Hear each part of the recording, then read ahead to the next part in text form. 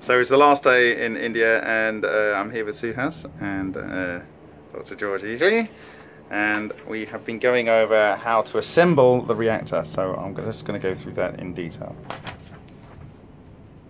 Here is an overview, it's a little bit scrappy, uh, can do a proper drawing later but uh, what you have here is a conflat Dewar type structure uh, with uh, 12 bolts around the head and the diameter from one end of the conflat to the other is 250 to 260 millimeters. The length from the outside uh, to the far end of the uh, open Dewar is uh, 450 millimeters. The wall thickness is 5 millimeters. The OD uh, is 210 millimeters and the ID is 200 millimeters. Uh, he has nine pass-throughs. Uh, that's one common ground and uh, one for each of the eight cores. Uh, and then uh, the arrangement of the uh, transducer, the ultrasonic transducers, is like this. And what you have is um, on the inside, you have something like this. and this is in there and kind of like uh, welded onto the inside or something like that. It's basically welded there. Uh, not entirely certain about that. Uh, and it has this screw thread inside and why you have this screw thread is so that then the piece that comes on the outside you can screw in and out to make sure that you have your resonance between the face of the uh, 1 megahertz uh, transducer uh, uh, and this face which is the face the primary face that couples with the uh, reactor core.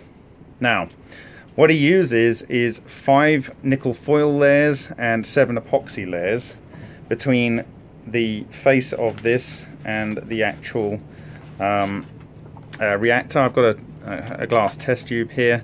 So if you can imagine that uh, you would put some he builds it up on here uh, so epoxy, foil, epoxy foil, so on, uh, five foil layers, epoxy on here, and, last layer is epoxy. So they're very thin. This is in the reactor. He pushes that in and then squeezes it in there. And then he has welded already inside some bolts. He puts a faceplate on, screws down the bolts and waits for this to set. Uh, and then you can take that faceplate off. You don't want the faceplate on there uh, when it's on operation because also this is to do with the resonance. So yeah, this this thread here is to tune, and essentially it's this is from an ultrasonic treatment unit, but this is the type of uh, ultrasonic one megahertz uh, piece that you would use and the ones that he uses are 30 millimeters diameter and 1.5 millimeters and they go up to 30 watts. I was wrong by suggesting it goes up to 35 watts before. It's actually 30 watts is the maximum you can do. And then it has like a, a shim this kind of um, contact here and this is beryllium copper. And this allows you to screw down on and, and set the the, the, kind of like the tension on the head of the uh, transducer to ensure maximum efficiency. So this has some spring in it and this is how the electrical contacts go through. This is an old unit and it has uh, some Bakelite thermoset plastic here as the insulator but there would be some sort of potential ceramic uh, that you could use or any, any suitable insulator uh, to pass through your other signal for your ultrasonic transducer. So that's the layout there so then you have your eight heads around here, uh, and then what, what he's got around the outside is your uh, heat exchanger, uh, and that goes all the way around, blah, blah, blah, blah, blah, and then through through the center through a half uh, inch diameter um, tube. And then the, at the far end of the conflat, uh, you have a, a cap where you have your uh, ceramic based pass-throughs, the nine pass-throughs going through, um, and you uh, have a, a copper um, uh, sealing ring in order to produce uh, the vacuum and, and uh, uh, hydrogen seal.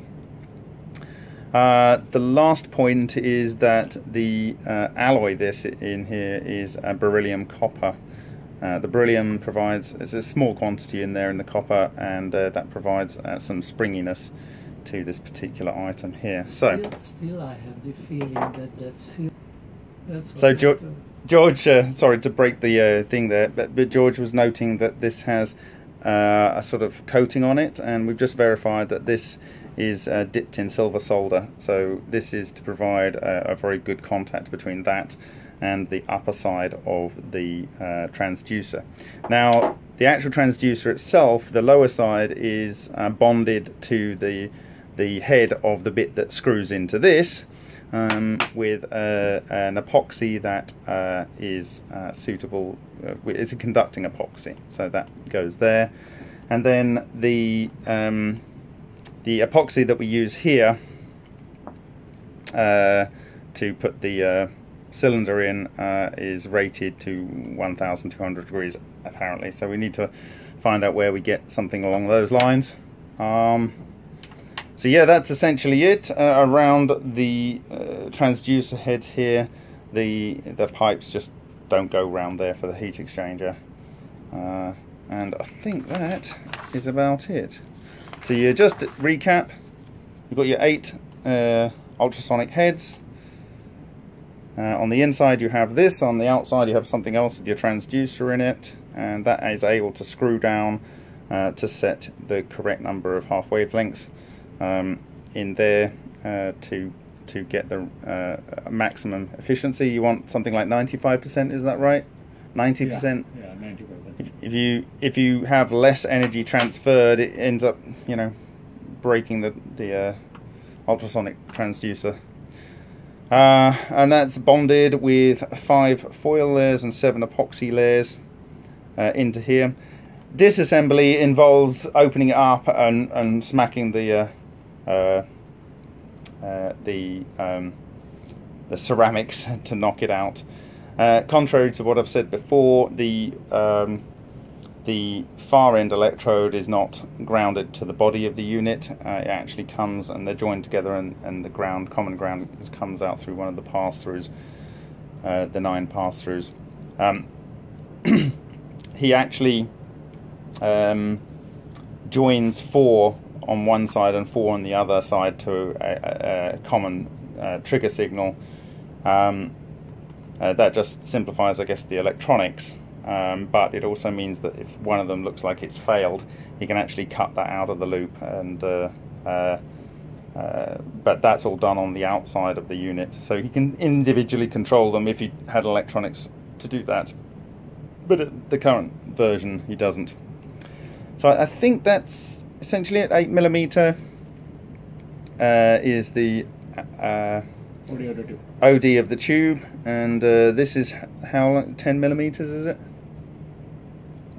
Uh, Ten millimeters. no, that is 12. This is twelve. So there's there's four millimeters between the tube and uh, the the keyway in the ultrasonic head to fill with these five foil layers and seven epoxy layers, and that's nickel foil. I think that's about it.